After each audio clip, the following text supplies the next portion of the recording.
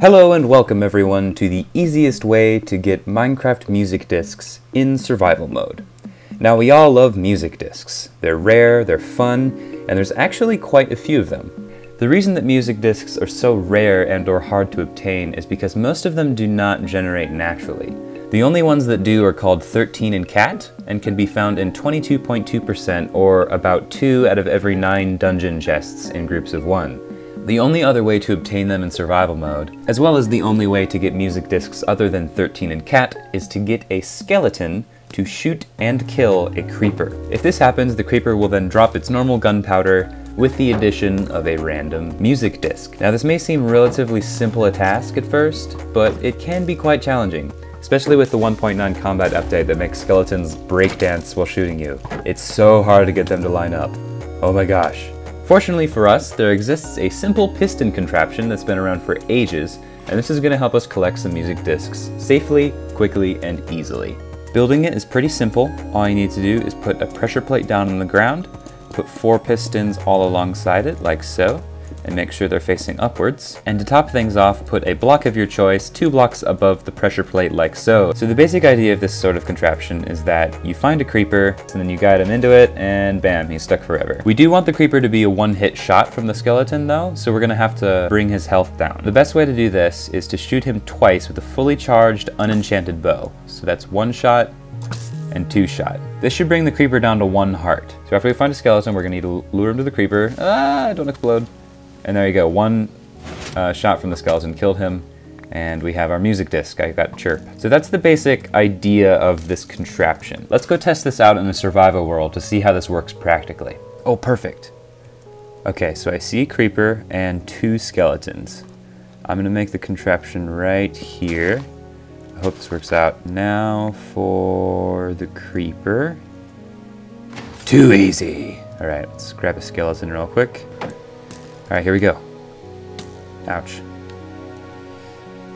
Alright, I have an enchanted bow, so I'm going to hit him with my sword once. That should be enough. Don't explode. Okay. Alright, I'm going to loop around here. And this should do it. Or maybe two shots, I don't know. One. Two. Maybe three. There we go, three shots. And give him a crap.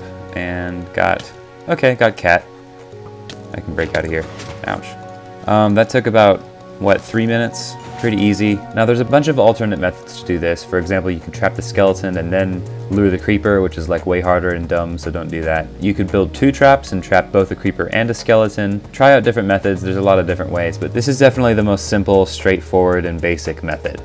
Now if you are having trouble with this method, if the skeleton is too hard to lure or too hard to line up, um, and the whole process just kind of isn't working for you for whatever reason. The, there is an easier method and that's building like just a bunch of them. It's obviously going to require a lot more materials, a bit more time to build, um, but the harvest um, and ease of use are a bit better. So here's some skeletons I could make an example out of. Alright, come on buddy. Crap, I trapped myself. That's also one issue. Oh, here's another one. Okay, he's trapped. Um, generally with these guys, you're want to block them off like this. So now I'm to go get a creeper.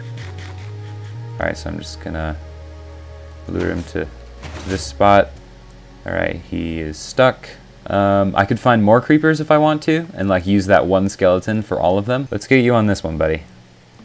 just jump on up here, and gotcha. Alright, so now we can free the skeleton here on like one area.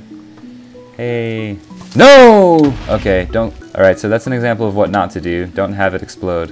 Alright, get this creeper. Got him. Alright, I can just sit here and get rid of this one.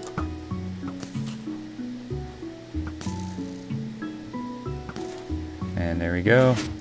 Music disc. Oh, he's behind the block, that's why. Oh crap! I forgot about that. Alright, so we've killed one creeper and the other two have exploded because I suck at this game.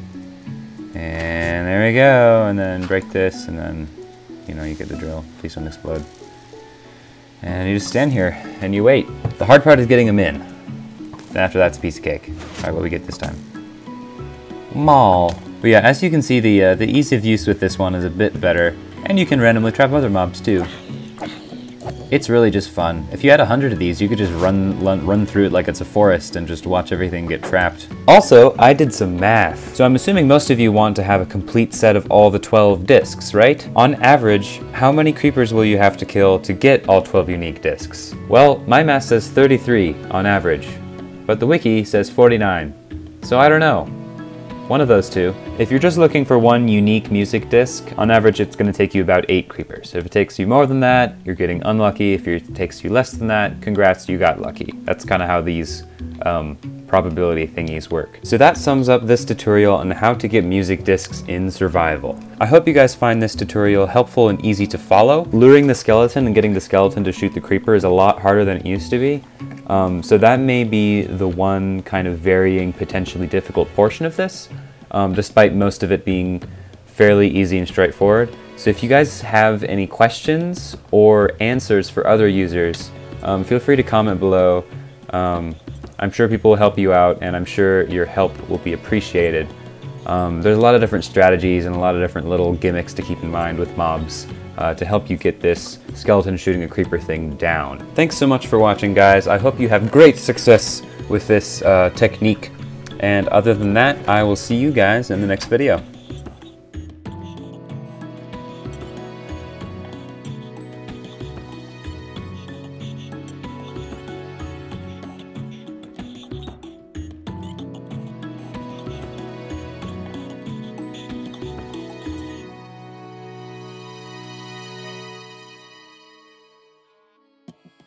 Hi again, side note, thanks to Red Inferno for suggesting this video.